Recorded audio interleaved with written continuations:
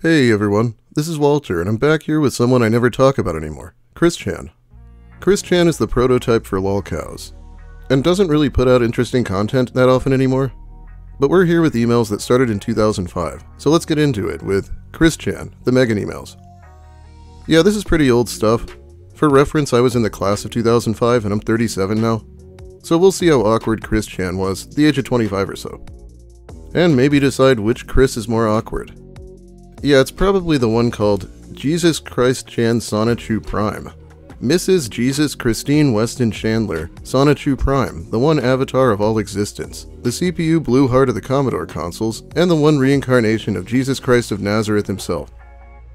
Okay, I'll stop reading there, but this is from Christine's new website. Maybe I'll read more about it soon. Let's start with the emails.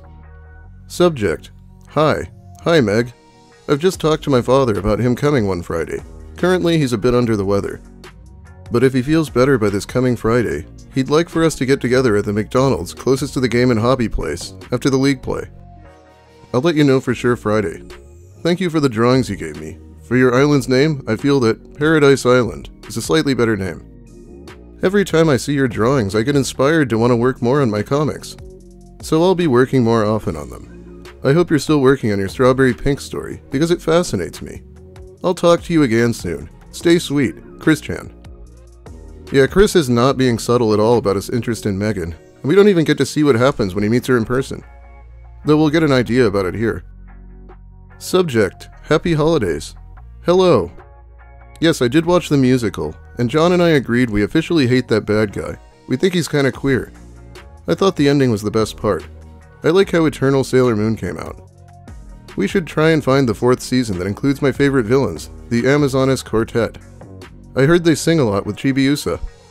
I love the first season of that anime. It's got that old mono sound quality to it. I like anime that sounds vintage, but of course the American version redid all the music. Thank you again for such nice gifts. I wasn't expecting that. Although I really don't mean to be cold, but please don't try and advance on kissing me, please. The truth is, I don't want a boyfriend because I don't desire and idolize boys like other girls. I enjoy being independent. So you see what I mean? It's certainly nothing personal towards you. I'm just a girl who doesn't care about loving guys. That doesn't mean I can't be friends with them, though. Well, since I bought models and been working on them, I think the glue has made me ill. So in case I don't feel well enough to go on the computer, I'll go ahead and say, I hope you have a Merry Christmas and the holidays go well for you. Megan. P.S. No one in my family is autistic. Uh, I feel ill. I'm gonna take a nap watching Sailor Moon. Yeah, that guy was kinda queer. Now I'm gonna go watch Sailor Moon. Anyway, these emails are going to go on until 2008, and Chris is already trying to force kisses on her. I won't read this next one, but Megan is softly, yet firmly telling Chris that she doesn't want an expensive gift from him. Common nice guy strategy. Buy her a DS with Nintendogs. Oh god, in the next email he starts calling her Meg Chan, and asks if she wants to ride a train with him. And just listen to what a smooth operator he is asking for her number. Megan, I'd feel much better if I could converse with you about these situations vocally, than written, because I feel a bit of tension from waiting a day or two for your reply. And I feel that our points would come across between us more effectively.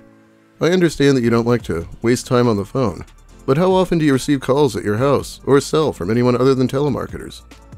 So could I get your phone number, please? I know that I've given you mine a few times, so you have that.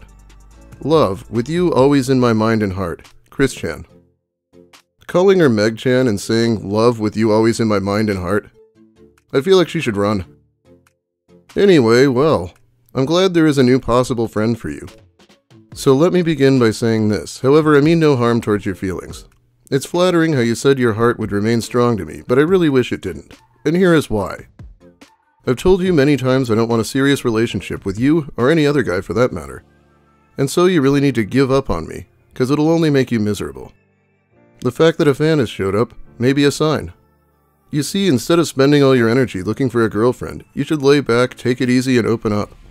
Then I think someone will show. You should try not to act so desperate.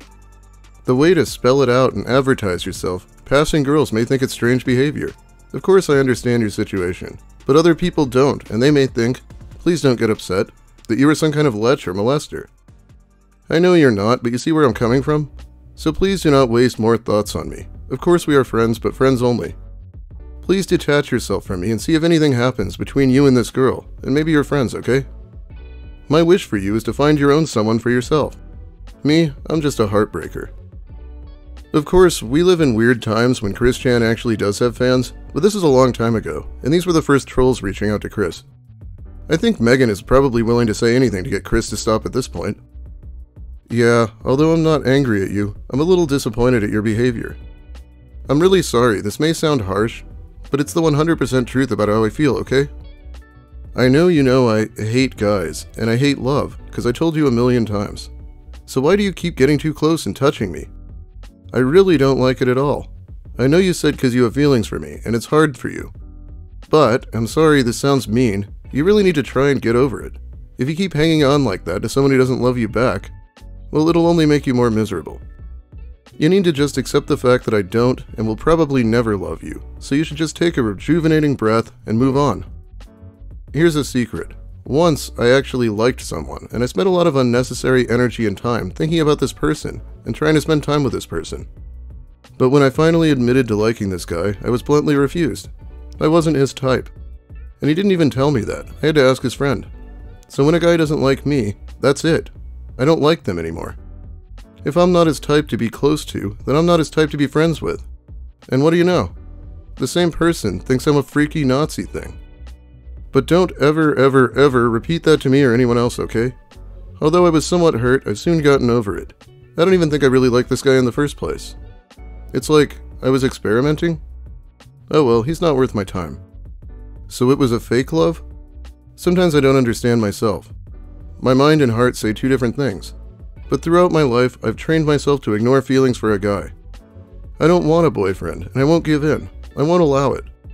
Of all the hair bands, I love anti-love songs. Example, did you download Queensryche's I Don't Believe in Love? I don't. To be honest, I don't care for love. Period. Now I sound like that lady villain you have, but oh well, that's the real me. Also, this is a secret I've hidden away for a long time, because everyone would think I really was a freak. I only love animals. I love receiving affections from them, and I love being with them. In other words, I love animals more than humans.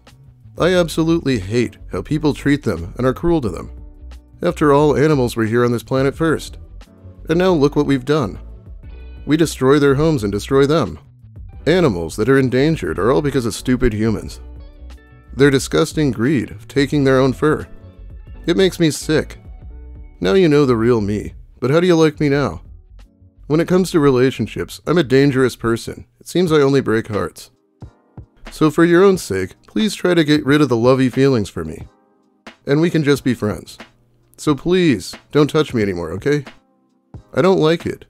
And last Wednesday, you really had me pinned against the wall. Please give me more space. Wow, that was a very emphatic rejection. Also wondering if Chris actually tried the Kabedon. Sadly for her, I think her saying she has a boyfriend might be the only way to get Chris to back off, and she really doesn't want to go that route. That was at the end of June, so by mid-July she had to go over it again. Geez, what kind of question is that? I honestly have no idea.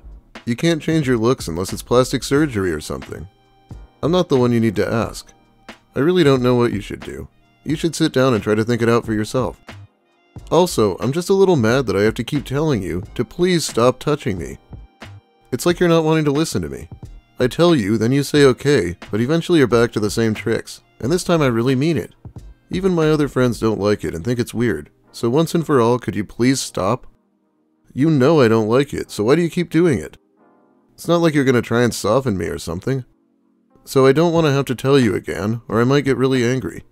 Because you know unwanted remarks or advances to a girl is sexual harassment, and I don't take that lightly, okay? So can you understand now? I am skipping around quite a bit. Going back to, are you copying me? I don't like it much when people get into something right after they find out I liked it first. When you said we had a lot in common, like Sailor Moon and My Little Pony, well, who loved Sailor Moon first? Who collected My Little Pony first? Okay, I know I sound like a spoiled brat, but can you see what I'm trying to say? I don't like being too in common with others. I try to be different from others as possible. I personally don't like Pretty Cure that much. Mostly the reason is because you liked it first. And out of respect, I decided not to get into it, because to me, Pretty Cure is your thing. Like Sailor Moon and My Little Pony should be my thing, you know? I even remind myself not to tell of my other series I love, because I'm afraid the next day you'll have everything there is to get from that. So if I ever order something that's something you don't really know about, then just hand it over casually, like you didn't even see it. I should mention that Megan was pretty young at this time, maybe even still a teenager. And also that this was way before My Little Pony Gen 4 or Bronies existed. The prior generations were way more girly to the extent that it's really weird Chris was into it. And Megan is right, really. Chris was very transparently obsessing over her interests so he could say that they had so much in common. This picture really does show the relationship dynamic by the end, and Chris was never able to see it. Okay, thanks. You know I haven't talked to this person in a year. I'm not really wanting to get together with him either. Boyfriends aren't for me. Don't want them, don't need them. However, I can't say I like how you call him a lucky jerk. Why is he a jerk? Why do you call all guys that? Hate to be blunt, but that's a pathetic way to think.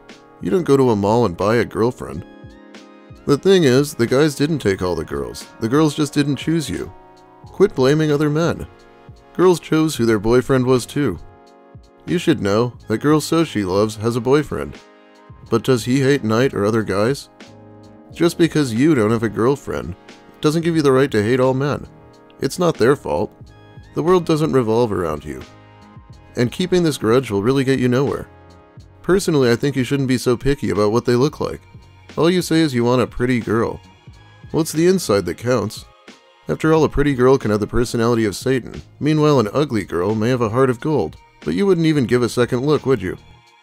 I often wonder, if I was an ugly girl, you wouldn't even come near me, would you? Which also makes me bring up something else. During the tag team, you yelled about how you didn't want to pair up with a beginner. Did it even occur to you how many little kids' feelings you just shattered? And so if I was a beginner, would you say that to me as well?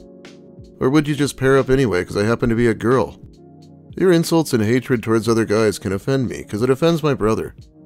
Well, sorry all that sounds mean, but I hope it gave you something to think about. I remember seeing a letter posted by you in Shoujo Beat. Then a couple issues later, there was a reply to that. Did you see that? Well, that girl was absolutely right. Ugh, hungry. Wait, Chris wrote a letter into Shoujo Beat? Like, did he honestly think he's the right demographic for that? Let's see if I can find it. This should be concentrated cringe. Riko Izawa, an absolute boyfriend, sort of has the same problem I do. She can't get a guy, and I can't get a girl. Here's my sitch. All the pretty girls are already paired up with some jerk, thus leaving me with none to choose from. Also, nobody can tell, off the bat, a paired up girl from a boyfriend free girl.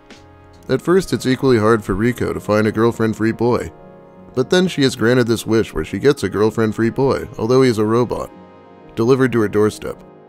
Lucky girl. I'm 23 years old. One would think I'd have gotten a girlfriend by now, but no, I haven't. I'm stuck in the situation where if my parents should pass away, I will be a very lonely virgin. Christian Chandler. Wow, this publication was for teenage girls. Why did they publish a letter from a 23 year old incel? Either way, it's hilarious. In your November issue, a guy was complaining about how he couldn't find a girlfriend. Why is he only looking for pretty girls? There are plenty of girls who are not supermodel gorgeous whom he could date. It's not the outside of the package that counts, but the inside. A girl can be pretty on the outside, but might be mean and self centered or have other problems. Whereas another girl could be plain, or even ugly, on the outside, but quite a beautiful, kind, intelligent person on the inside.